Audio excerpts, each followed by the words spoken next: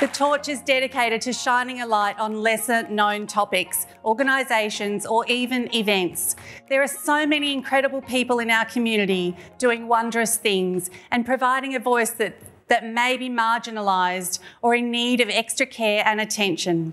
And the Girlfriend Hour is all about helping support and raise awareness of these initiatives. Our Torch segment guest is the incredible Donna Aston.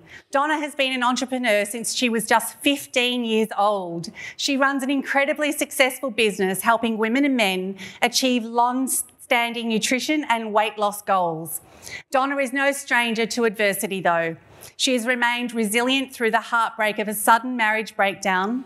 She has a chronic back injury that she manages on a daily basis. Donna's passion and positivity is infectious, and like the Girlfriend Hour, her purpose is clear to empower women and help them be the best versions of themselves. I can't wait to shine a light on all that she is and all that she does. Please put your hands together for the amazing Donna Aston.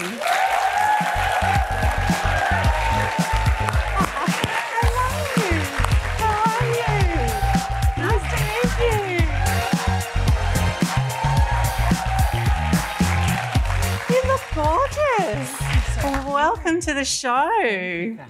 Oh, we can't wait to get to know you and all that you bring to the universe. So please tell us about Aston RX program and what makes it unique. Aston RX is an online program for health and weight loss, but the thing that makes it unique is that most people struggling to control their weight mm. actually have a lot of metabolic dysfunction. So rather than putting a band aid on the symptom of that, which is weight gain, we actually work on their actual metabolic profile. And we mm. start with pathology testing. And so we can then really accurately identify what's going on. And then we actually educate people to be able to manage this themselves for a lifetime. And then the result of that is, is basically a side effect of rapid fat loss. Amazing. Mm. And are you allowed to reveal any of the celebrity clients that you've worked with and what results they got? Sure. Not look, not a lot not of them. Lot. I've worked with a lot of high profile people, both people that you would know as a celebrity and also people in business. Um, I've worked with Simon Cowell. Most people oh. would know Simon. Yes. Um, and Sigrid Thornton, who's a very popular Australian actress. Um, I got her ready for the Blue Room, which was she had to be naked on stage, which was frightening. Yeah, I'm never doing that. so, so there's been, you know, a lot of actors and people that I get ready for different events. Amazing. Mm. And was there a moment or event in your life that led you down the path of health and nutrition? Where does this passion and come from? Two places really. I was 25 kilos heavier than I am now. So I guess that's where I, I started, was trying on my journey to find out how to improve my own health. Mm. And so I really understand and have empathy for the process of losing weight. I'm not someone who was born skinny. Um, so welcome to the club. Anyone else? um, and also, I used to be a beauty therapist, and I I was dealing with a lot of people who had acne and, and different health issues that were clearly not going to be fixed with topical creams and mm. treatments. So I, I really wanted to get into the, the inside and the microbiome and all of these things that have an enormous effect on our health and our skin. Um, so, so that's really where it started. Gosh, that's amazing. And tell us about your back injury. How does it affect your everyday life and what happened? I fell off a horse oh. when I was about 16. And I didn't think as much of it then, but obviously did some damage to two discs in my back. And I've managed it over the years. It flares up a little bit and it, I sort of manage it. But about three years ago, I, I ignored a lot of signs in hindsight um, that it was really starting to deteriorate.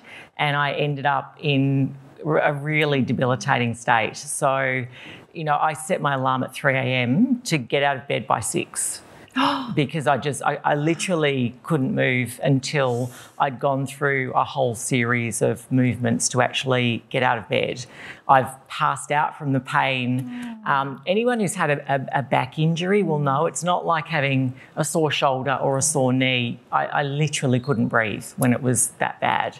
And so, um, you know, I went down that medical route that a lot of people do of having um, cortisone injections and, and different things to kill off nerves in my back and all sorts of things, and came back really to what I know, which is good nutrition for anti-inflammatory purposes. And also you know I, I, really do need to keep my weight um, in a healthy range because if, if you gain weight that really impacts your joints as well. So I, I just manage it Oh my gosh, that's such a story. Wow, to live with that all the time. And from your experience, what do you think are the main reasons that women stop believing in themselves? Because there's there's this point where all of us go through you know, up and down weight fluctuations, children, hormones, and stress, anxiety. Uh, sometimes we do it as a protective mechanism. Uh, but why do you think people stop believing themselves when they've got this weight on? They're not feeling their best. So what do you think? I just think there are there are so many confusing programs and and diets and exercise regimes and even the experts can't agree with each other. Mm. So how is anybody supposed to figure out how you do it properly. Mm. And I think people blame themselves for failing time and time again at different diets in an attempt to lose weight. And it's it's really it's the diet that's the problem. It's the wrong information we're being given. And then we kick ourselves in the head for not being able to follow the wrong information. And over time I just think it wears people down. And so that's really why I created our program is to to really give people the empowerment or the education to be able to do this for the rest of their life. So it's, it's a sustainable program because diets, yo-yo diets, I've heard it all. Uh, I know I've been on plenty in my day, and then the moment it's over, it's like straight to the hot donut shop. Anyone? uh, and that's what you're created a program that's sustainable and it's tailored mm. to each individual body. Yes. Amazing. As this is a Girlfriend Hour, tell me how do you celebrate friendships with your girlfriends?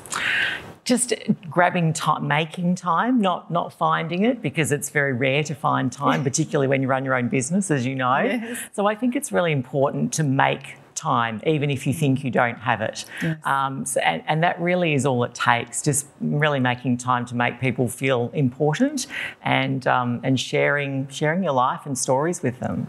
So true. And, and, I heard somewhere recently that, and I've heard it before, but you know when you hear something and then all of a sudden you hear it? And it was uh, if people can't be heard, they can't be seen. Yeah. And sometimes a girlfriend, and many of my girlfriends uh, here today know that sometimes I just want to talk and I just want to be heard. I don't often need them for a solution, but that's okay too. But I just want to be heard and seen. And then I feel validated like all humans. So, mm. Donna, thank you so much for being on our show today. Thank I, you so much. I think what you're me. doing is absolutely amazing. And the torch is all about shining the light on great people and great businesses doing great things in the world. Uh, so, thank you so much. It's Thank been you. amazing. Thank you so much. Thank you.